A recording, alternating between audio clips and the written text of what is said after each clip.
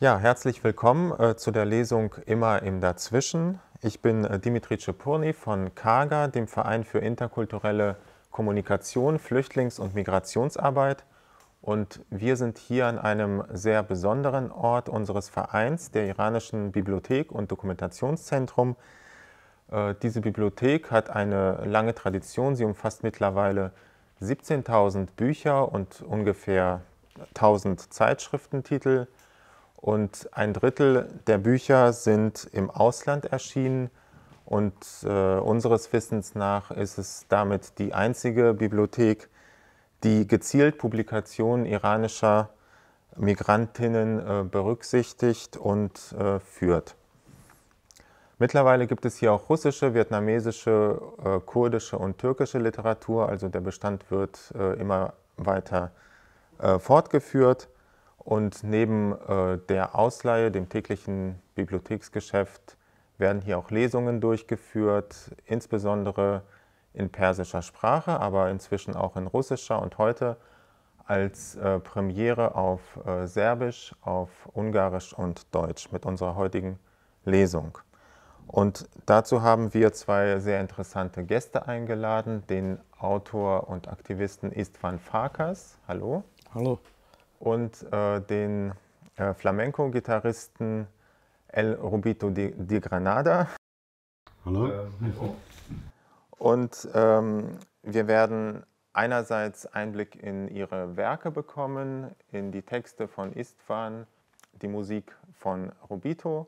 Andererseits möchten wir auch über ethnische Ausgrenzung sprechen und äh, darüber, was wir für mehr Partizipation alle gemeinsam tun können. Es geht los mit einem Dokumentarfilm über Istvan Farkas, über sein Engagement und über seine Projekte. Äh, in diesem Film erzählt er über sein Leben. Er ist in Serbien äh, geboren, hat eine Zeit in Ungarn gelebt und äh, die Roma-Sprache hat er nie gelernt. Er wurde dadurch auch in der Roma-Community nie wirklich akzeptiert.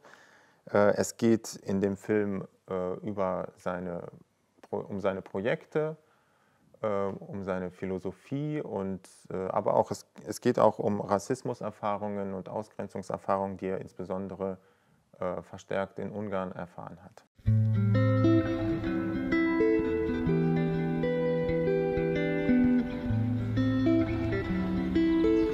Poslednje veliko ništa. Lepo je biti poslednje veliko ništa. Tebe ne očekuju, ne zahtevaju, ne priželjkuju.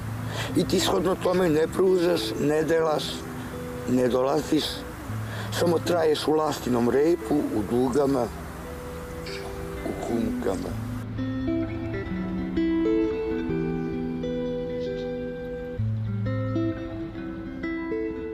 Ja sam rođen u Somboru, tamo neke davne 1962. Što se tiče nekog mog detinstva, bilo je kao kod sve druge dece. Dakle, u nekoj igri, druženju, u nekim sitnim zadovoljstvima, nekim veoma promenljivim situacijama, ali sve je imalo svoju neku unutrašnju lepotu.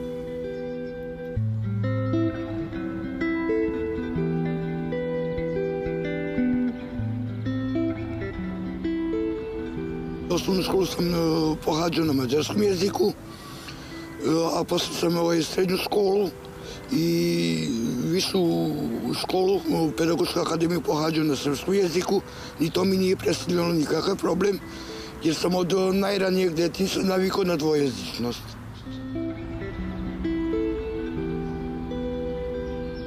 Svaki treći stanovnik Vojvodine je pripadnik neke nacionalne manjine. U Vojvodini ima 27 nacionalnih zajednica koji već vekovima dele sudbinu zajedno sa onim narodom koji je u većini. Vojvodina je na zanimljivom mestu zato što se nalazi na jednoj vrsti raseda. S jedne strane Mađarska, s druge strane Hrvatska, tu je svakako i Srbija i česti sukobi koji se istorijski pojavljuju između ta tri centra. U tom smislu manjine zapravo često trpe a, određene pritiske da se deklarišu da se pojave na jednoj od tih strana. Sukobi znaju da budu izuzetno žestoki, a i kada je mir, ne mora da znači da je baš sve potpuno mirno. neke prve prepreke e, mog nacionalnog pripadanja. To da sam Rom sam osetio tamo neke početkom srednje škole. U jednom trenutku sam se osjećao odbačen. Ali sam se osjetio odbačen od Roma koji govore romski jezik, pošto ja romski jezik ne znam. Družili smo se i u nekom međusobnom komuniciranju oni su koristili pretežno romski jezik. Što ja naravno nisam shvatao i osjetio sam se ostranjen. Ta ostranjenost od govornika romskog jezika traje od tada.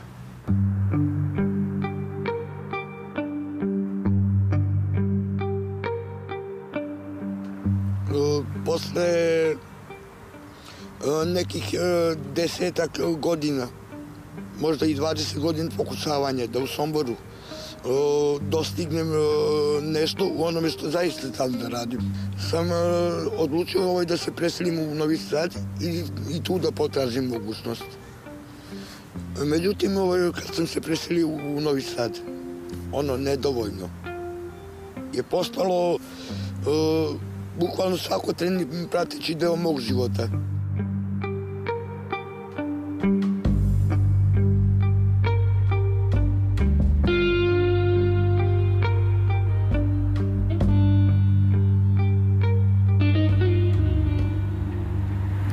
Se pripadnici manjina osjećaju nekad kao pripadnici, e, kao građani drugog reda. E, na ovo pitanje teško odgovoriti, zato što teško mi je da generalizujem stvari.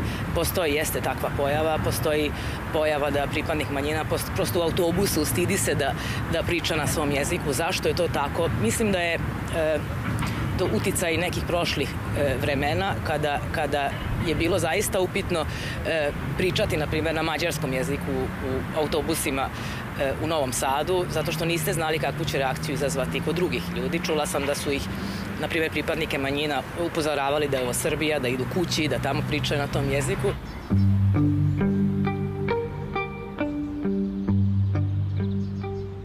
od uh, Roma koji govore uh, romski jezik sam bio odbačen zato što ne znam romski. Od Roma koji su veri, vernici jedne veroispovesti sam postao nedovoljan zbog toga. Većina Roma u Novom Sadu su pravoslavci. Ja sam bio katolik, družio sam se ovaj, sa uh, muslimanima, što je za njih bio smrtni greh. Od uh, Roma koji su stanovali u nekim e, prihvatnim stambenim uslovima. Sam postao nedovoljan zato što, što sam stanovao u tim romskim mahalama ili on takozvanim partajima, male uđerice u nekim dvorišnim zgradama u Novom Sadu ili e, pod mostovima i tako dalje. E, znači, po tome nisam bio dostojan njih. Kada je uvedena takozvana demokratija, takozvano višestranačje, sam postao i politički nedovoljan. A zbog neke svoje, e, svojih aktivnosti na tom planu, e, da to neko političko mišljenje, e, političke prilike, pokušam promeniti na bolje. Ne pristajanjem na ono što je loše i, i propagiranjem onog što smatram da je zaista dobro, kvalitetno, što nam je svima potrebno. Nikad nisam bio ni u jednoj partiji, nisam ni želeo to. E, samim tim ne, ne mogu da kažem ovaj da sam postao partijski nepodoban, ali jeste to jer sam za sve partije postao nepodoban. Vidio sam i njihove greške i o tome sam javno pričao. U jednom trenutku mi je bilo toga e, preko grla i odlučio sam se na emigraciju iz Srbije. Odlučio sam se da odem u Nemačku, E, kao politički emigrant i to naravno doživotni politički emigrant. Međutim, kad sam stigao tamo, e, prijavio sam se u tom prihvatnom centru i predao sam zahtev za političku emigraciju. U tom trenutku su me tamo zaveli kao tražioca azila. I ja sam na, ovaj, e, na osnovu tako obrađenog zahteva dobio odbijenicu na šta sam uložio žalbu sa obrazloženjem. Da kao, kao prvo, ja nisam to tražio. Kao drugo, ako ja mogu da budem tamo tih par meseci, koju godinu, pa se posle moram vratiti, a ovde se ništa ne izmeni, onda sam džabe i dolazio. Jer okolnosti zbog kojih sam ja otišao, ovde ostaju iste. Septembra prošle godine, posle četiri godine boravka u Nemačkoj, sam se morao vratiti e, definitivno u Srbiju.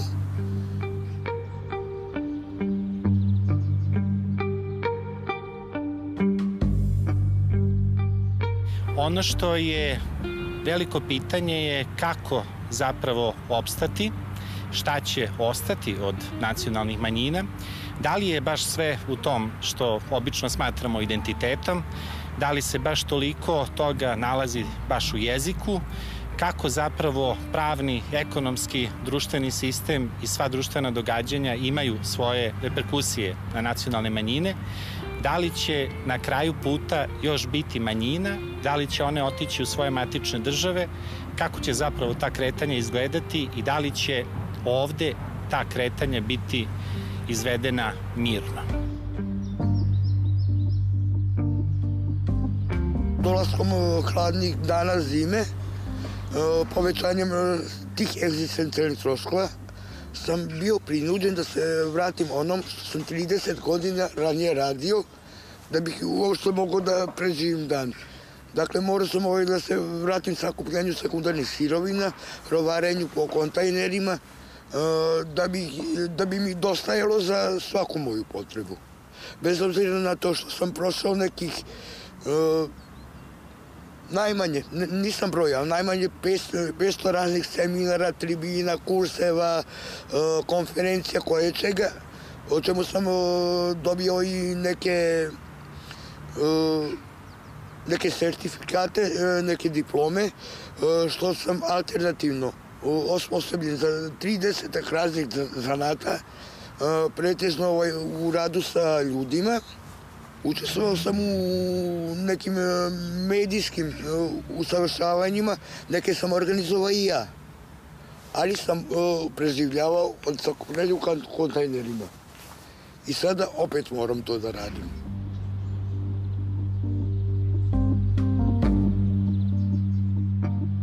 šta je problem između normativnog i stvarnog e, kada pričamo o pravima nacionalnih manjina. To da je normativni okvir manje više e, zadovoljavajući, tu ocenu možemo da čujemo uvek kada pričamo o pravima manjina. E, ja se s tim ne slažem u potpunosti, mislim da ima prostora za unapređenje stanja i kada pričamo o pravima manjina, o propisima, e, a sa druge strane mislim da je veliki raskorak između tog garantovanog pravnog okvira i zaista prava e, pripadnika manjina. E, zašto je to tako. U velikom broju slučajeva pripadnici nacionalnih manjina ne koriste svoja prava u obimu kako su im garantovana, e, dakle ne koriste, na primjer, jezik koji je u službenoj upotrebi, ne iniciraju, ne traže vođenje postupaka, sudskih upravnih postupaka, e, pripadnici manjina, kada pričamo o deci, ne pohađaju školu na jeziku nacionalne manjine i tako dalje.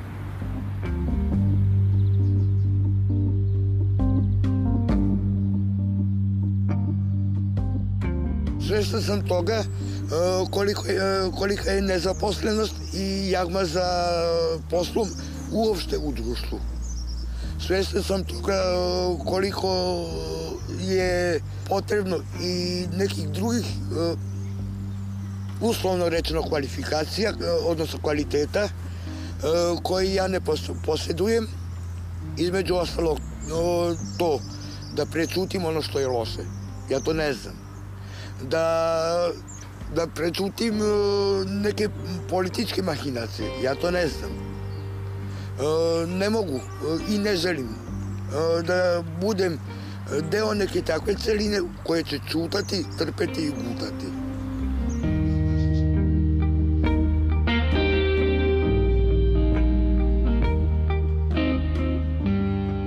Vidio sam i primere kako može čovjek da živi čoveku dostojno od svog zalaganja.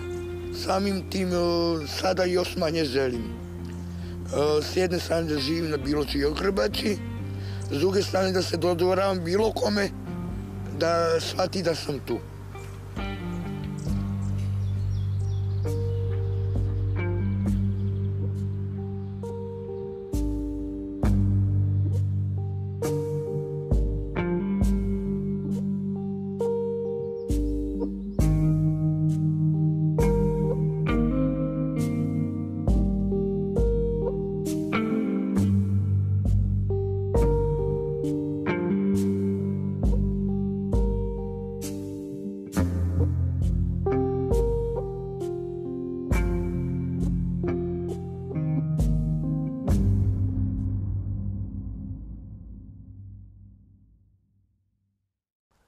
Ja, der Film äh, war in serbischer Sprache mit englischen Untertiteln. Ich hoffe, meine kurze Inhaltsangabe vor dem Film hat etwas äh, weitergeholfen. Und ähm, erstmal die Frage an Istvan, wie und wann äh, ist dieser Film entstanden?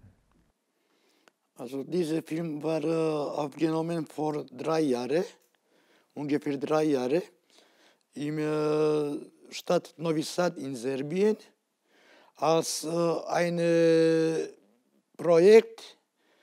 Projekt hat äh, äh, genannt als sagst deine Geschichte. Und das hat Zentrum für Interkulturalität Aufnahmen. Und ähm, eine der Protagonisten äh, warst dann du, also die sie ausgewählt haben.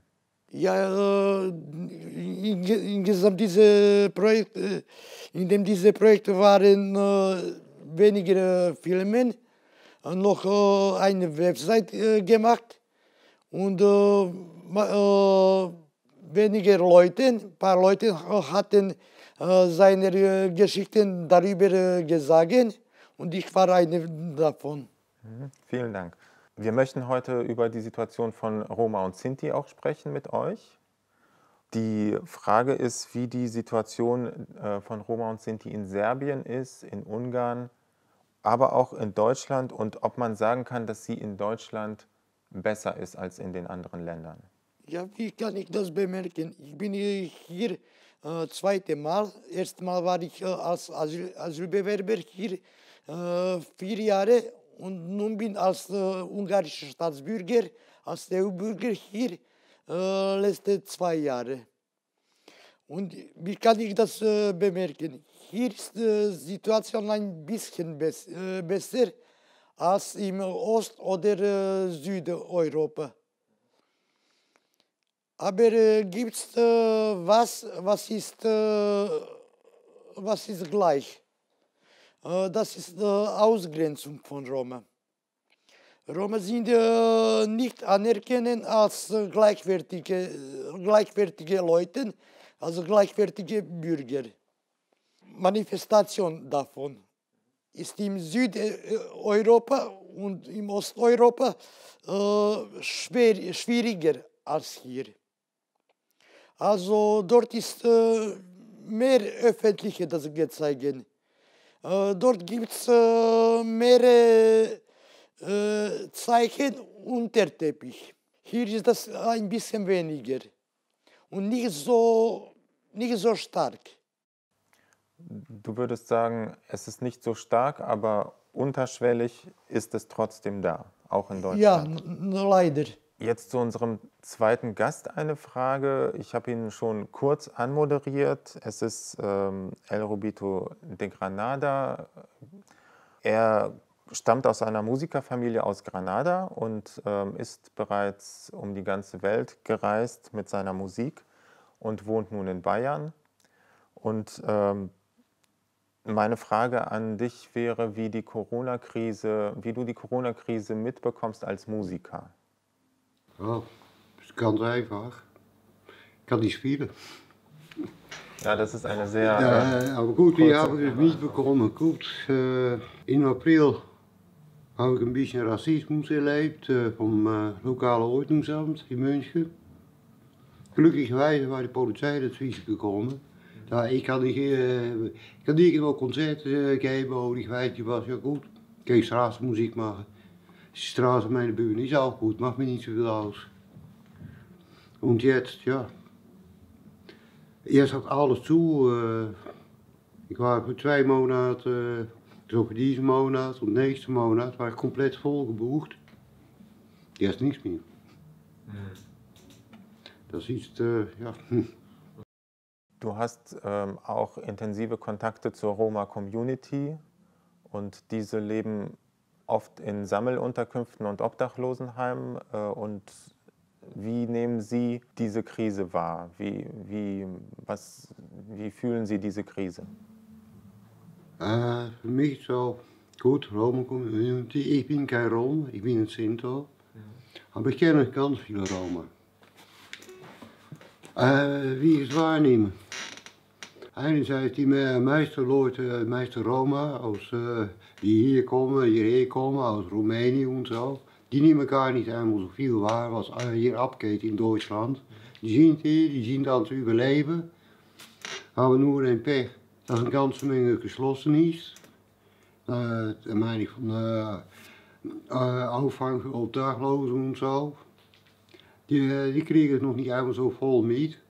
Aber mensen die hier wat länger wonen, die heb ik zo'n gezetteld zien, die bekomen dus niet. Ik kon wel zeggen, van, goed, wenn es geht um Sinti, meeste van ons uh, verdienen ons geld met, uh, compleet zelfstandig. Dat is eigenlijk ideaal bij ons. -hmm.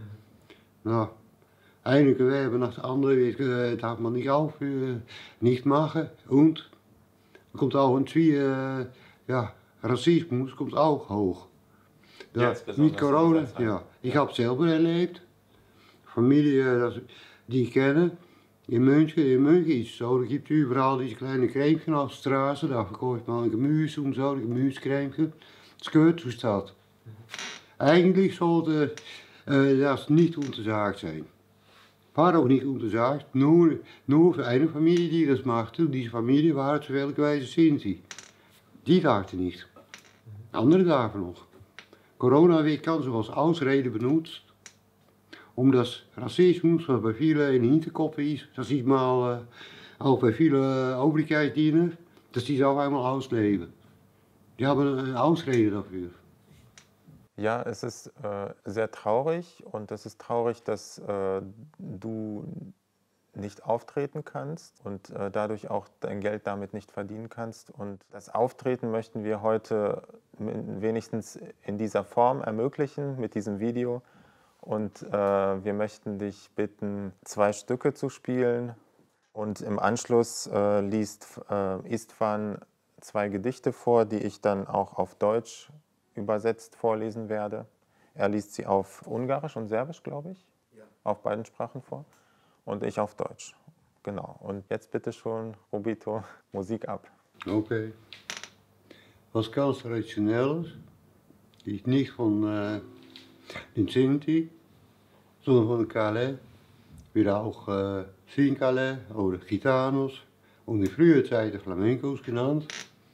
Also die Menschen in Spanien, wo ich für die Hälfte von abstamme.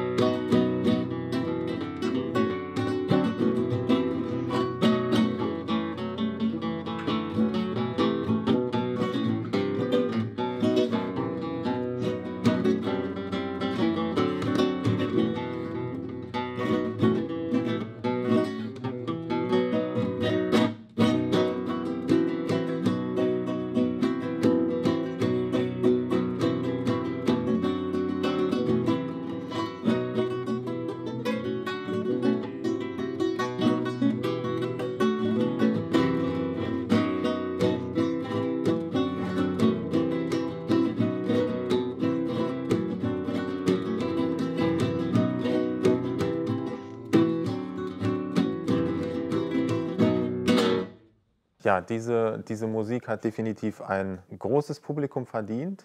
Äh, wir hoffen, dass, äh, dass das Video viele Klickzahlen haben wird, dass viele Menschen dich kennenlernen werden und deine Kunst. Und ähm, wir kommen jetzt zu Istvans Texten. Der erste Text ist Das Schloss des weißen Vogels. Und äh, Istvan liest auf Ungarisch und Serbisch und ich auf Deutsch. A fehér madár kastélya. Ebben a lakban a homály honol, és csendét susog, zimankód von, és vendég sehol.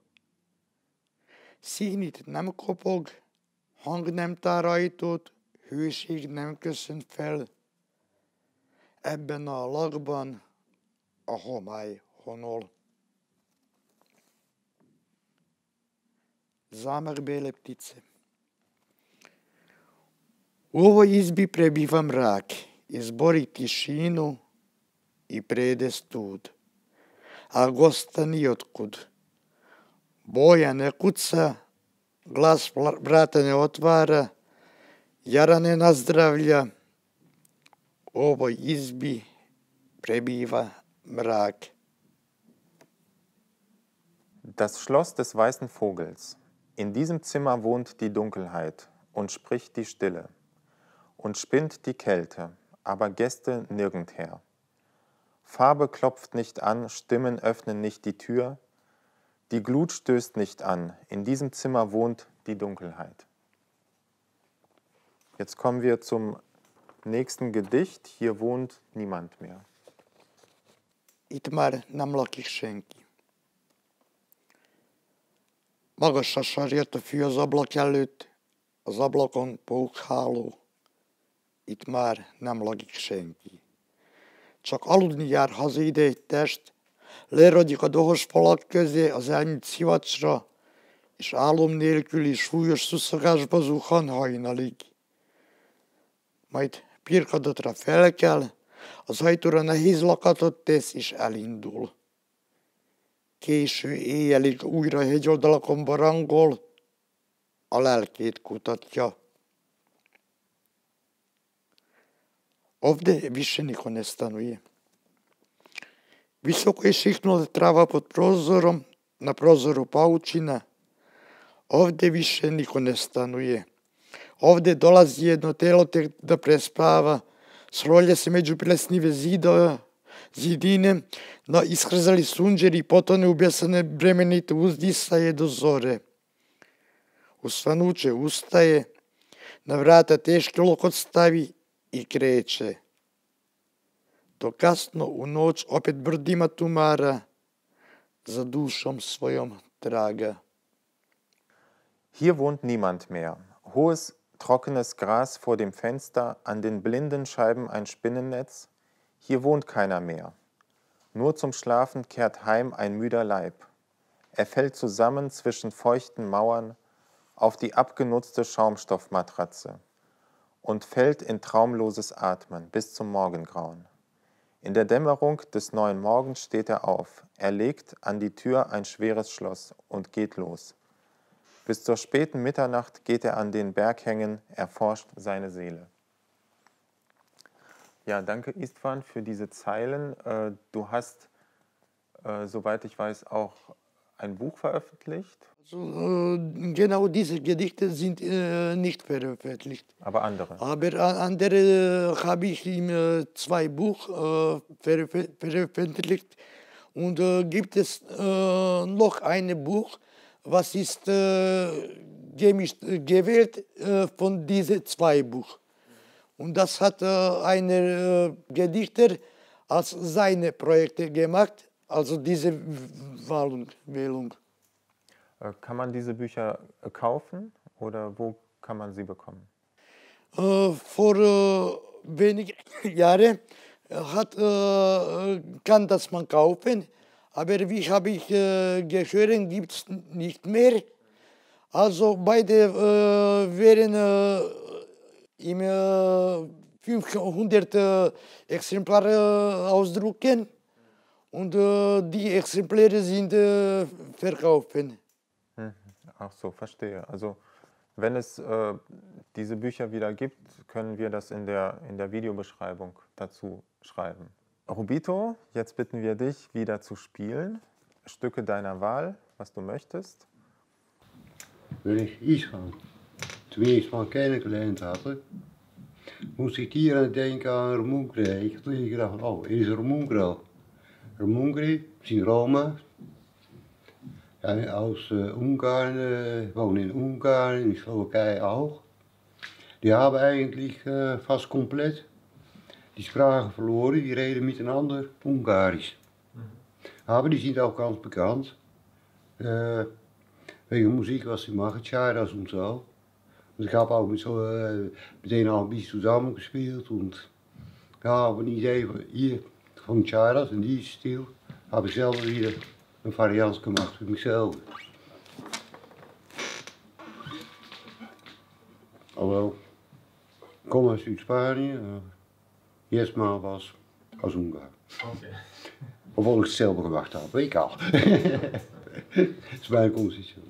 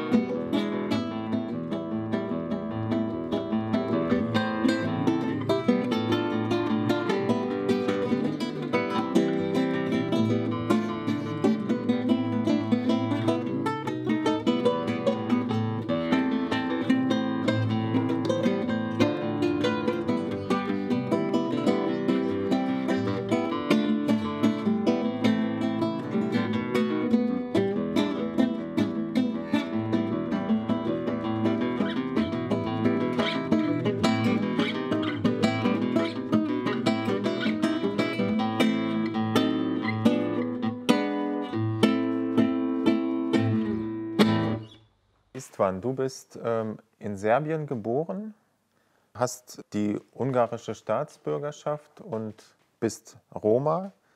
Und wie der Untertitel dieses Abends auch ist, äh, sagst du, du bist nicht genug Roma, nicht genug Serbe und nicht genug Ungar. Kannst du uns erzählen, äh, wie dieses Nicht genug Sein im Alltag sich anfühlt? Das ist eine sehr interessante und äh, sehr äh, schwere Frage. Also diese nicht genug.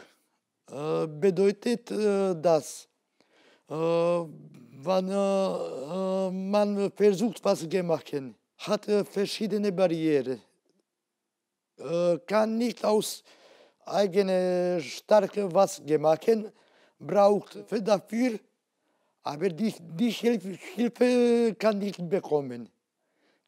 Genau deswegen nicht genug. Also das äh, bedeutet jetzt eine konkrete Sache. Man äh, braucht eine Arbeitsstelle. Er kann äh, was gemacht. Er ist äh, für diese Arbeitsstelle sehr qualifiziert. Hat äh, sehr viel Erfahrung als, als Ehrenamtlicher, als Volontär. Aber wenn, muss, wenn will er, er diese Stelle als professionelle Arbeitsstelle machen, kann er das nicht bekommen weil ist, weil ist er was anderes. Dann braucht Hilfe von Gesellschaft, das kann er doch diese Arbeitsstelle bekommen. Aber wenn geht beim, in diesem Beispiel, wenn geht beim Roma, er ist nicht genug Roma, er ist zuerst Ungar. Wenn geht beim, beim Ungar, er ist nicht genug Ungar, er ist zuerst Serben. Bei Serben ist äh, zuerst Roma. Aber das ist nicht nur mit Ethnizität so. Das ist in äh, jeder äh, andere Sache im Leben so. Äh, man ist nicht genug äh, Bürger. Man ist nicht genug äh, Stadtbürger.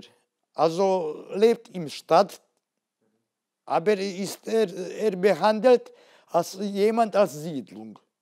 Lebt in Siedlung, aber, aber er ist äh, behandelt als jemand als andere Dorf. Und so weiter. Er, äh, man äh, spricht zum Beispiel äh, Rumänisch, aber äh, er, äh, er ist behandelt Wer spricht Albanisch? Spricht Albanisch, er ist behandelt, wer, äh, wie das spricht, spricht er äh, Italienisch. Äh, er ist zum Beispiel äh, in Glaubigkeit Katholiker, katholisch, aber äh, hat äh, Freunde, wer sind Muslimen und äh, lebt inzwischen Orthodoxen auch nicht genug, äh, nirgendwo, nirgendwas das. Ja, ich verstehe. Also es ist nicht nur eine interessante Frage, sondern auch eine sehr interessante Antwort von dir. Und ähm, ja, die, die nächste Frage schließt sich direkt da an, und zwar, äh, ob es nicht auch andererseits trotz dieser ganzen äh, Diskriminierungserfahrungen auch ein Reichtum bedeutet, in verschiedenen Kulturen zu Hause zu sein. Und du sprichst ähm, Serbisch, Ungarisch und Deutsch. Und äh, wie siehst du das? Ist das nicht auch eine, ein Reichtum, eine Bereicherung? Ja, darüber habe ich äh, mehrmals schon äh, denken und äh, reden. Also, inzwischen äh, bedeutet genau das, nicht genug aber mehr als anderen. Also, äh, aus anderer Seite äh, äh, verliert man was. Aber äh, aus äh, viele äh, andere Seite bekommt was. Bekommt mehr, mehr verschiedene Erfahrungen, mehr Wissenheit, mehr äh, Sensibilität. Mehr, mehr, mehr Seele vielleicht auch? Mehr Seele auch. Ja. Und äh, bekommt äh, äh mehr, wie kann ich das sagen, also mehr Zufrieden, Zufriedenheit mit Leben. Da möchte ich gleich äh, weitermachen mit dem nächsten Gedicht. Äh, das heißt ähm, aus dem Bauch heraus, passend ein bisschen zu der Antwort. Und äh, genau, du liest wieder auf Ungarisch und Serbisch und ich wieder auf Deutsch. Gyomorszájból. Akár a földgyomra a kőolaj, feltör belőlem a szó. Természetesen akár a földgáz előbb a kép jelenik meg. És magamba szívom, és szaglászom, és elbódít, és biztos vagyok, e furat nem fogja hiába gépezetet elnyűni, az agytekervényeket, az államtól elkopozott sejtéket. Akár a földgyomrából a kőolaj feltör belőlem a szó. Gondolataimban már kórházakat építek, és árvaházakat, és kutakat a vándoroknak, és diófákat, almafákat ültetek az éhezőknek, mert Istenem, a szó dúsgazdaga fog tenni, akár a földgyomrából a kőolaj. És faragom, és csiszolom, és kovácsolom. Gyűrűvé, nyakorvé legyen a szó, gyémántá váljon, aranyá, vagy legalább bölcsességkővé. És akkor mindig akár a földgyomrából a kőolaj, a szó elapad. Serbische Sprache. Ich äh, wünsche noch was sagen. Äh, diese Frage äh, vor diesem Gedicht, äh, diese äh, Reichtum, bekommt man noch was? Bekommt man Möglichkeit, das kann er anderen was geben? Ja, das ist ein, ein sehr guter Gedanke. Also auf Serbisch iz utrobe. Kao iz utrobe zemlje nafte šihni izmene reč. Naravno, kao zemlji gas javi se najpre slika. I udahnem je i mirišem i opija me. I siguran sam, ova bušotina neće uzalud mašine habati, možda ne vijuge, čeli od sna otrgnute. Kao iz utrobe zemlje nafte šihne iz mene reč. U mislima već gradim bolnice i domeve za siročad i česme za putnike, namernike i orahe, jabuke sadim za gladne, jer za Boga reče mi doneti bogatstvo koje iz utrobe zemlje nafta. I onda je klešem i brusim i kujem prstenje, džerdan da od reči istkam, dijamant da postane zlato ili bar kamen mudrosti. A onda uvek kao iz utrobe zemlje nafte, nafta, reč presahne. Aus dem Bauch heraus. Wie aus dem Bauch der Erde das Öl, so bricht aus mir das Wort. Ganz natürlich, wie das Erdgas, zuerst erscheint eine Vision. Ich atme es ein und rieche es, und es betäubt. Und ich bin sicher, in dieses Loch wird nicht umsonst die Maschinerie der Schaltkreise im Gehirn bohren, die vom Traum gestohlenen Zellen, wie aus dem Bauch der Erde das Öl, so bricht aus mir das Wort.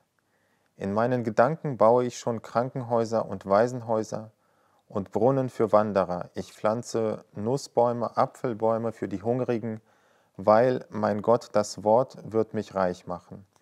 Ebenso wie aus dem Bauch der Erde das Öl.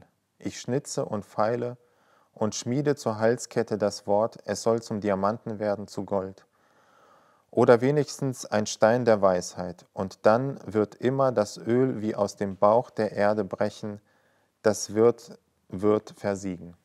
Ja, während äh, der Gedichte von Istvan haben wir äh, eine Reihe von Fotos gesehen aus Serbien.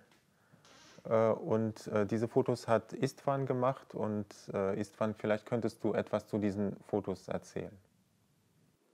Also diese Fotos habe ich äh, als äh, Journalist gemacht, äh, als Dokument und Foto von äh, meiner äh, journalistischen Schreiben. Die sind meistens über Leben von Roma in Serbien, meistens aus Stadt Novi Sad und Umgebung.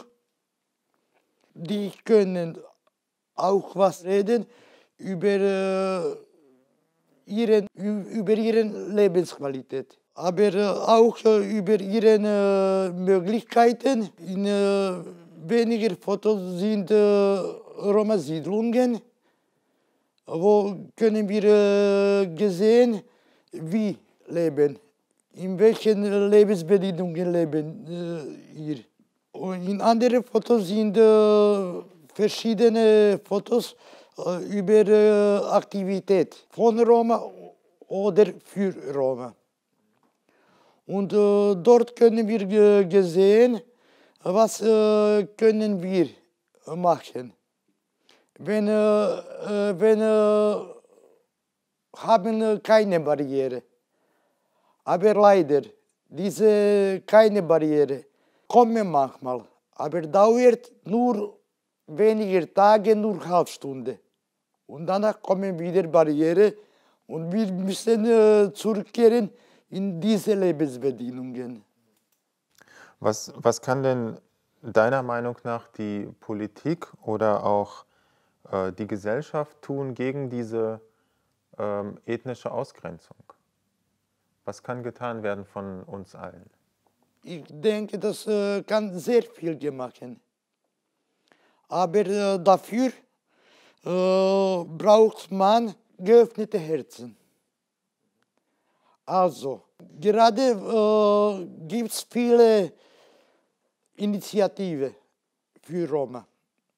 In ganze äh, Europa, in ganzer Welt gibt es viele Initiativen, gibt es viel, äh, viele Aktivitäten. Aber die alle äh, Initiative, Aktivitäten äh, gehen als Projekt und gehen nur dafür, was ist es, äh, was bezahlt es sich, lohnt es sich. Für die, welche diese Aktivitäten machen, aber nicht für uns. Äh, also das ist keine Hilfe für uns, sondern Profit, Profit, Profitabilismus. Hm, verstehe. Das, was kann wirklich gemacht für uns oder äh, was können wir für uns machen, äh, schließt aus diesem Profitabilis äh, Profitabilismus. Äh, wenn äh, zum Beispiel helfe ich jemand nur deswegen, das wird ihm besser und nicht mich. Hm, ich verstehe das, ja. Äh, den ist äh, wirkliche Hilfe. Und das äh, äh, gibt äh, langdauerte Lösungen. Aber wenn helfe ich jemand nur deswegen, das habe ich noch ein Haus, noch ein Auto, noch eine Yacht. Er wird das innerhalb zwei Monaten verlieren und alles, was bleibt, ist mein Auto. Und welche, vielleicht auch die Frage an Robito, welche Hilfe wünscht ihr euch für die äh, Roma und Sinti-Community? Also Istvan hat viel davon gesprochen, was nicht gut ist und vielleicht könnt ihr sagen, was, was ihr euch wünscht. Na, was ich, äh, ja, ich, einerseits, dass Menschen wissen wie wir sind, dass wir ganz einfach normale Menschen sind, dass die Vorurteile verschwinden. Dass sie euch kennenlernen sozusagen. Ja. Wir sind ganz normale Menschen, wir haben nur eine andere Kultur. Na klar. Mehr nicht. Aber wir, so anders als andere Menschen sind wir nicht. Gut. Ich van kent keine Romanes, kann, kann es.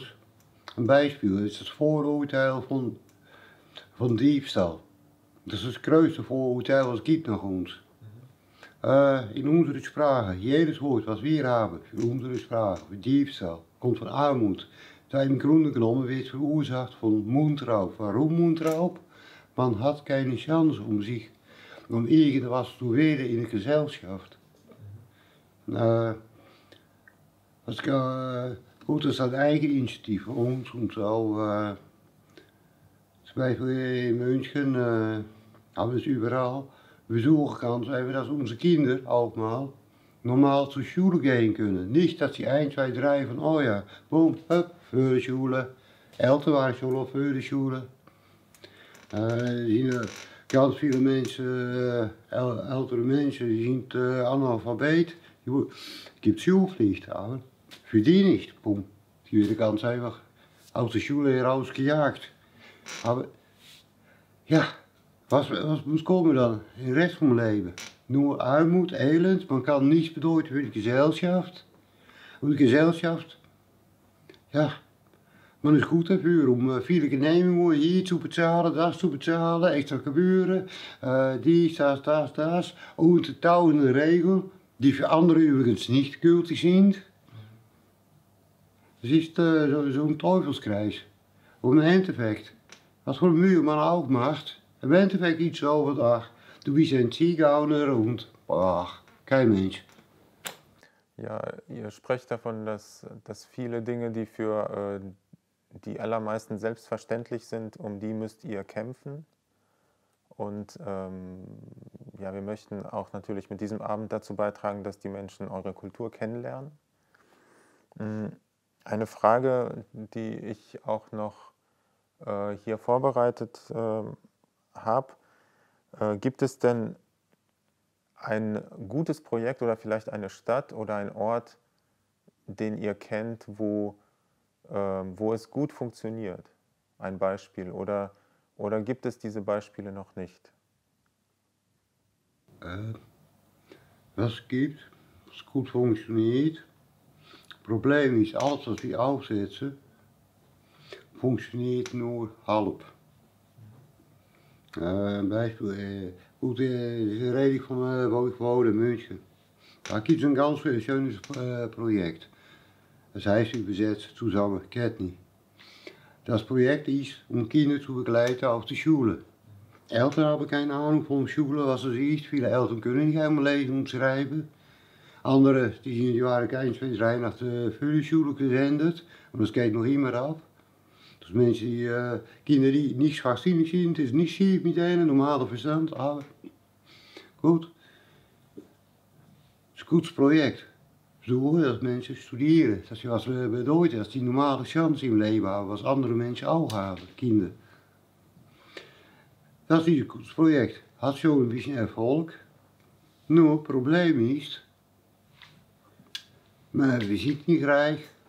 De stad betaalt ook een beetje in toe, die zoeken mediatoren. En de daar de stad ook was in toe betaald.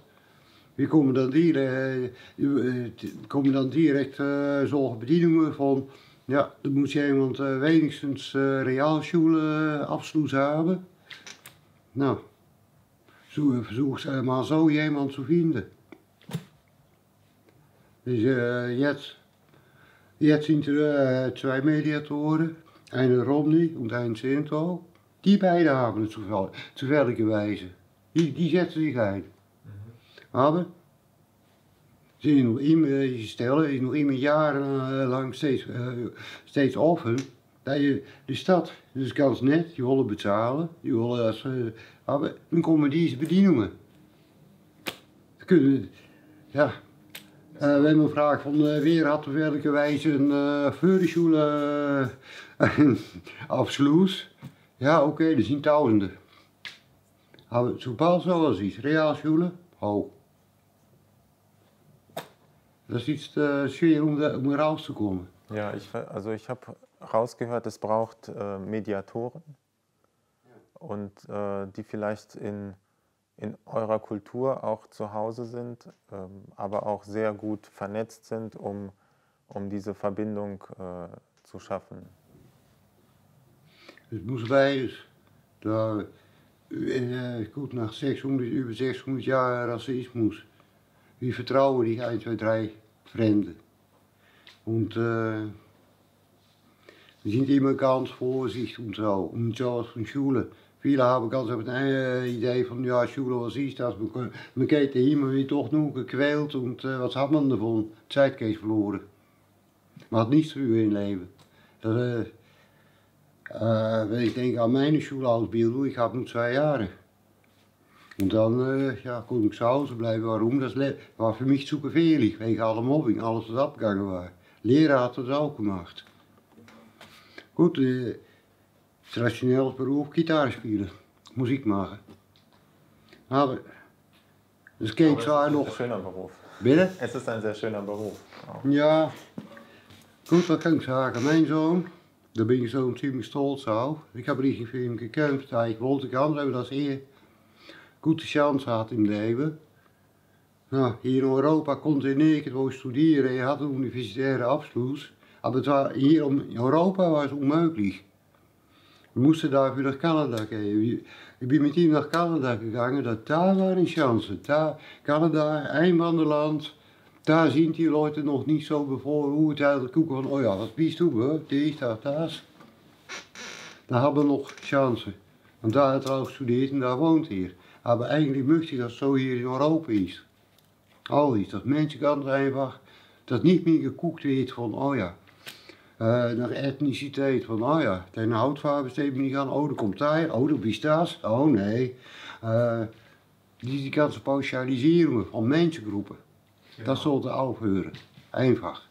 Diese, diese Lesung heute äh, findet ja auch äh, im Rahmen des, äh, der Veranstaltungsreihe Menschenrechte grenzenlos statt. Und äh, das ist ja auch genau das Thema.